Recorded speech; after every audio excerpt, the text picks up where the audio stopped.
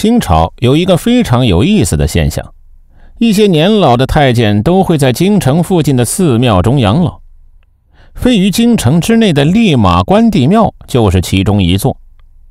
公元一九二五年，也就是清朝灭亡的十三年后，一位已经六十五岁的老太监在这座寺庙中去世。他就是清朝末期慈禧的二总管崔玉贵。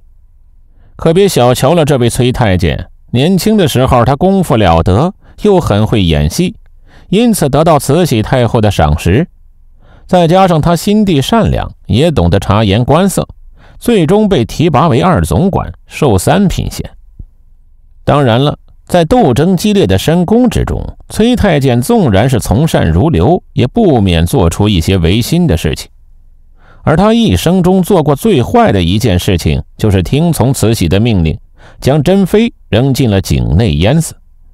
对于这件事情，他一直耿耿于怀，因此他晚年回忆时也经常感慨：珍妃娘娘她真的很了不起。自古帝王多薄情，但也有痴情的皇帝，一生只娶一人，这人便是明孝宗朱由樘，他也是封建社会中少见的一夫一妻的帝王。在清朝也有着这样一位帝王光绪帝，虽然不似朱佑樘后宫只有一人，但他极为珍爱的人只有珍妃。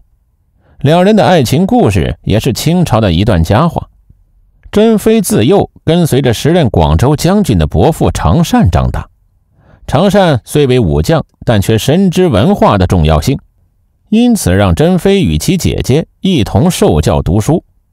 广州作为清朝的对外贸易港口，是最先能够接触到西方先进思想以及产物的城市，所以珍妃在此耳濡目染之下，学习到了许多西洋开放的思想，这也使得长大后的珍妃形成了活泼开朗、好学、乐意接受新鲜事物、开明的性格。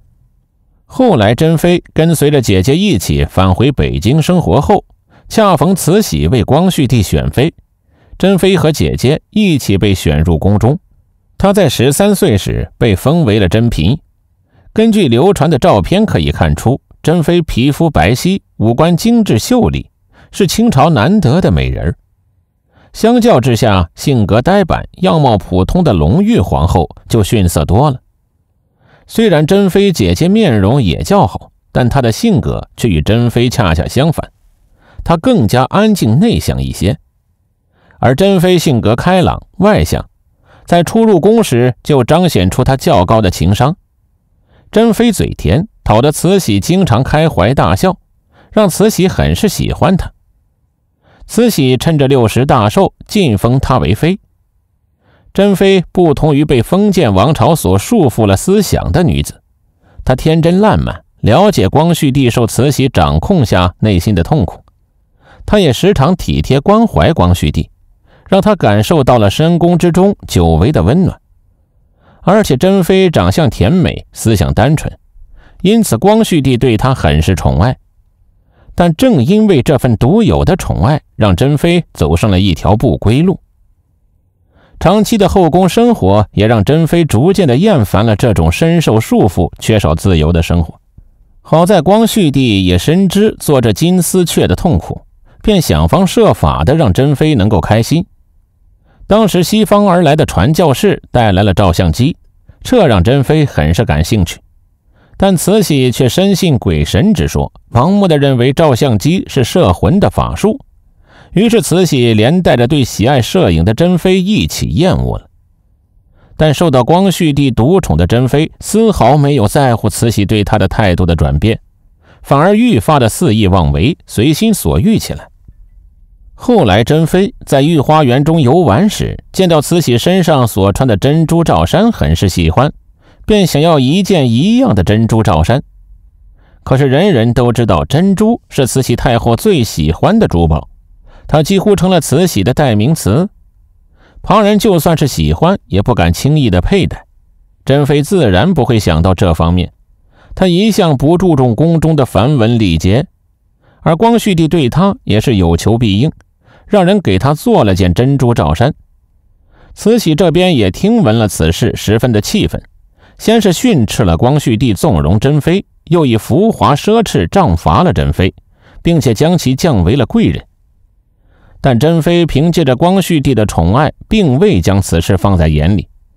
由于她平时对下人仁慈宽厚、出手大方，而她的俸禄根本无法满足她的开销，于是珍妃开始铤而走险，卖官鬻爵。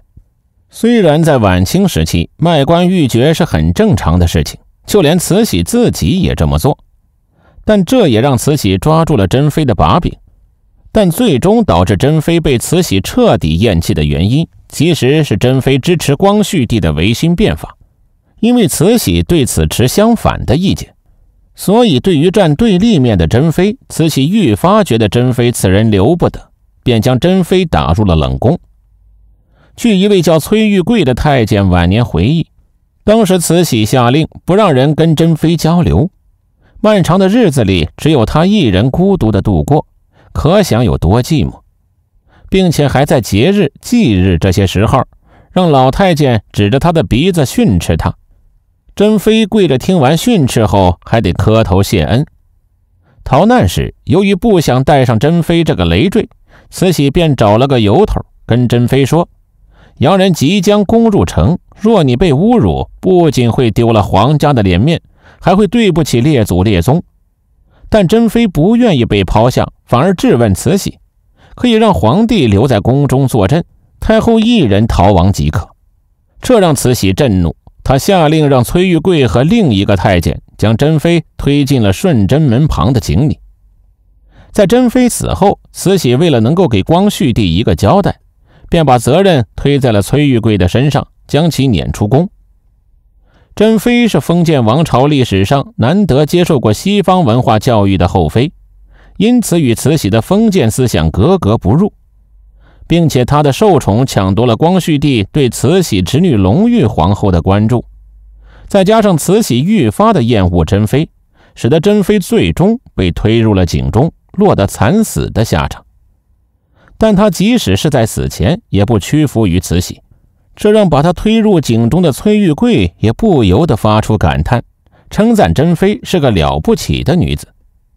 虽然珍妃年轻时颇为贪玩，也喜欢猎奇，但她胆大心细，在国家的大是大非面前能够挺身而出，为皇帝出谋划策，提供帮助，是一位难得的贤内助。